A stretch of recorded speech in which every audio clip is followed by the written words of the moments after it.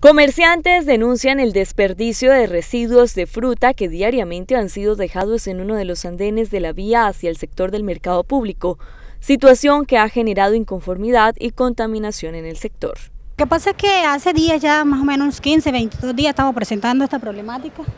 que todos los días encontramos, venimos a abrir el, local y encontramos la basura ahí y pues ya prácticamente estamos cansados, no tanto por recogerla, sino que esto da mal aspecto a la, calle y eso genera mal olor, contaminación y malos olores. Entonces, pues hacer el llamado a la gente que está haciendo eso, que por favor colabore, que si la va a dejar ahí, al menos en una bolsa o en un saco, pero igual no tiene la necesidad de dejarlo ahí, porque el carro de la basura pasa todos los días tipo 4 de la tarde por acá. Entonces me parece injusto de que, de que se porten así con Ocaña. Los ciudadanos que se muestran afectados esperan que se tomen las medidas correctivas de parte de las autoridades para evitar que ajenos lleguen hasta este lugar a desechar los residuos.